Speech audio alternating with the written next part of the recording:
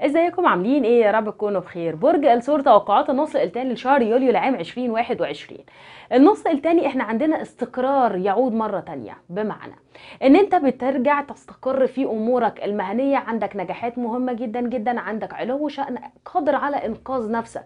بمعنى أصح من الآخر كده عندك حركة انتقالية. من شوية هبوط أو أعان أو قلق أو توتر أو فقدان علاقة عاطفية إلى رجوع العلاقة العاطفية دي مرة أخرى على استقرار نفسي على إن أنت بترجع تستقر من الناحية المهنية على إنك بتتقدم من نواحي كتيرة على إنك أنت بتنقذ نفسك من مشاكل قانونية أو قضائية فبتقدر إن أنت تشتغل على الحلول.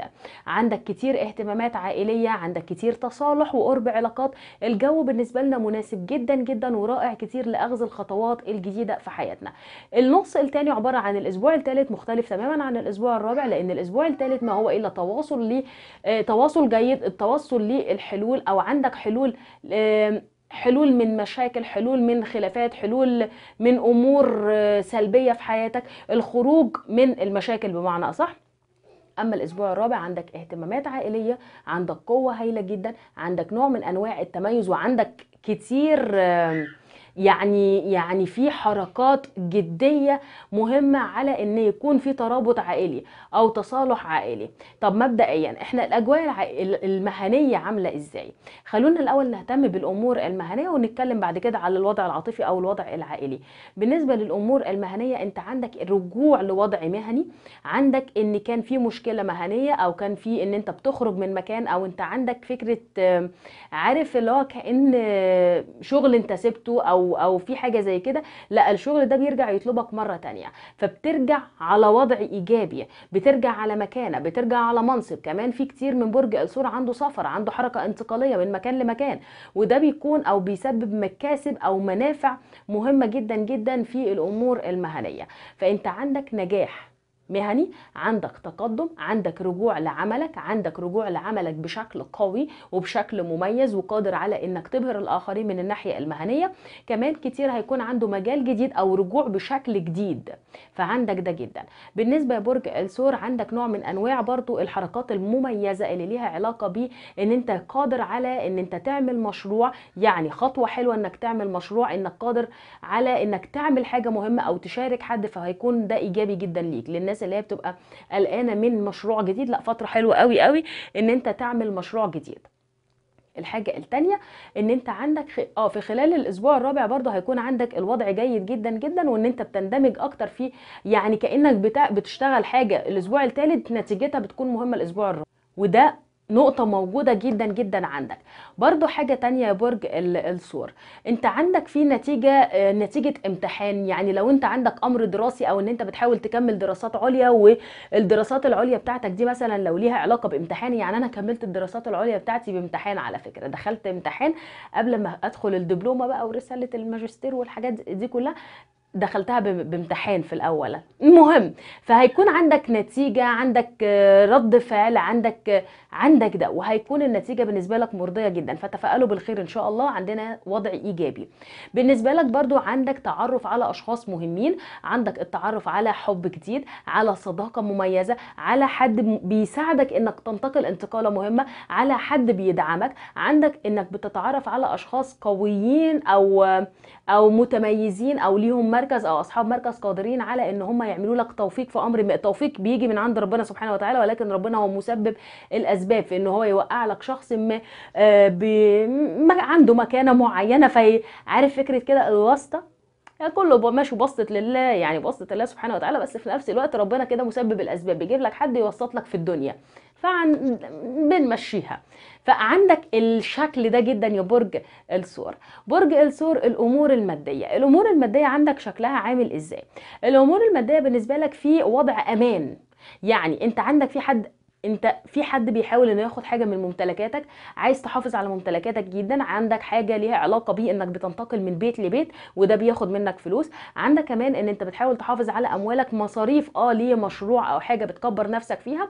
بس في نفس الوقت انت بتحاول ان انت تحافظ على ال ال ال ال الوضع المادي وممتلكاتك من سرقة من ان حد طمعان فيها بتداري بتخبي عليها فعندك ده جدا. وعندك أشخاص بتدعمك وعندك انتقال والانتقال ده بيكون فيه مصاريف كتير برضو يعني. بس الدنيا بالنسبة لنا هتبقى بشكل ميسر يعني ما فيهاش صعوبة مادية. بالنسبة برضو للأمور العاطفية بقى. الأمور العاطفية خليني أبدأ بالمنفصلين. المنفصلين بالنسبة لك أنت عندك رجوع عندك رجوع وعندك لم الشمل وعندك إنك عايز تحافظ على العيلة وتحافظ على أسرتك وتحافظ على بيتك وأولادك وشريكتك وشريكك وشريكك. فأنت أو أو عندنا برج الثور سواء رجل أو مرأة عندنا حتة إن إحنا بنرجع عشان نرجع المايه لمجاريها ده مثل مصري إحنا بنقوله. فعشان نصلح الدنيا عشان نحافظ على البيت بمعنى أصح. فعندك ده جدا يا برج الثور برج الثور عندك اهتمامات عائلية. ف بس عندك الرجوع حلو بس أنا عايزة أقول حاجة اعتبروها نصيحة دايما. لما تيجي ترجع ما ترجعش دايما عشان المركب تمشي وعشان نصلح والدنيا وعشان الأولاد ونيجي على نفسنا والشغل ده. لا حاولوا دايما إن إحنا لما نرجع ما عنديش مانع ابدا للرجوع. أنا بحب أنا بالنسبة لي على فكرة ماشية مبدا اللي اتكسر بيتصلح. وبيبقى أحلى بكتير. إنما في ناس تقول لك لا اللي اتكسر ما بيصلحش وما بيرجعش زي الأول. لا اللي بيتكسر بيتصلح وبيرجع أحلى من الأول. ما بيرجعش زي الأول آه معاك جدا بس بيرجع أحلى من الأول آه ممكن يرجع أسوأ من الأول آه بس على اختيارك برضو ورؤيتك للأمور. ما هو مش أنت مثلا يعني وقعت قبل كده وتقع مرة تانية. لا ما أنت عليك بقى إنك اتعلمت وفهمت الموقف فاهمني؟ ف أنا بالنسبة لي بشوف كتير إن ممكن إنسان يكون غلط يصلح ويتعلم من خطأه ويبقى أحسن وأفضل وأكتر من كتير من ما كنت تتوقع يعني من ناحية إن هو يكون إيجابي أحسن. فعندنا النقطة دي و... وعايزاكم تكونوا مقتنعين بيها يعني يعني ما بلاش سوء الظن لا خلينا دايما عندنا حسن الظن. طيب بالنسبة برضو لحاجة تانية ده بالنسبة للرجوع أما بالنسبة للناس اللي مش مرتبطين عندنا حب جديد بقى وارتباط والكلام الحلو ده؟ آه عندنا. عندنا معجبين كتير وعندنا إن أنت بتتواصل مع أشخاص كتير وعندك صداقة من عندك أصدقاء كتير فبالتالي عندك أصدقاء كمان من الجنس الآخر وهيكون عندك حب لل... للنفس كده وتغيير وستايل واهتمام بشكلنا ومظهرنا.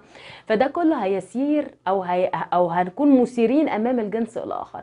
فيكون في حالة من الإعجاب القوية. ولكن عليكم أنتوا إن أنتوا تبتعدوا عن الخجل أو تبتعدوا عن الإحراج اللي بيكون في البداية ده. خليكم تعاملوا بشكل عادي جدا جدا لأن الوضع بيجي واحد الإعجاب ده بيجي واحدة واحدة. عشان لما نكون عايزين يعني ما نبقاش بنقضيها كده إعجاب ونظرات لا عايزين إن يكون في وضع كده إيجابي واضح.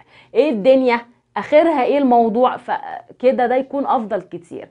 بقى عندك معجبين وعندك حب. طب في خطوبة أو زواج خلال الفترة دي؟ انت بالنسبة لك في خطوبة أو زواج بالنسبة لك في خلال الأسبوع الثالث في الأسبوع الثالث في تواصل جيد في ده وبيكون أو بيتم اتفاق بيتم اتفاق في خلال الأسبوع الرابع ومعاك من الأسبوع الرابع لأول ثلاث أسابيع من أغسطس. شفتوا بغششكم إزاي بقى شهر أغسطس؟ حاجات منه. فأنت عندك في في قرار عاطفي في مشروع زواج يعني في اتفاق في الأسبوع الثالث وفي مشروع بقى في اتفاق على موعد بعد كده بيتم. فعندك ده جدا. في موعد لرجوع برضو.